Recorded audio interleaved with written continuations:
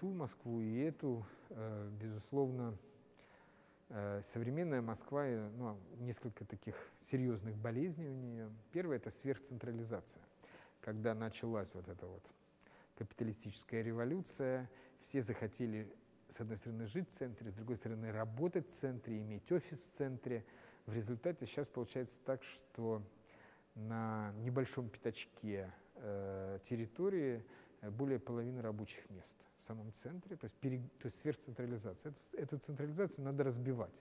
То есть административный центр надо вообще выносить, исторический центр надо э, открывать действительно Кремль, бизнес-центр надо в Сити. То есть второе это, конечно, транспорт. В советское время практически ни у кого не было частных машин. Поэтому такой проблемы не было. Значит, сегодня эта э, проблема есть. Поэтому ну да, э, я бы сказал, что сегодня мне, после того, как мы пережили вот этот лужковский период, когда старая Москва реально разрушалась, ну, мне кажется, что то, что делает власти, мне нравится, если честно.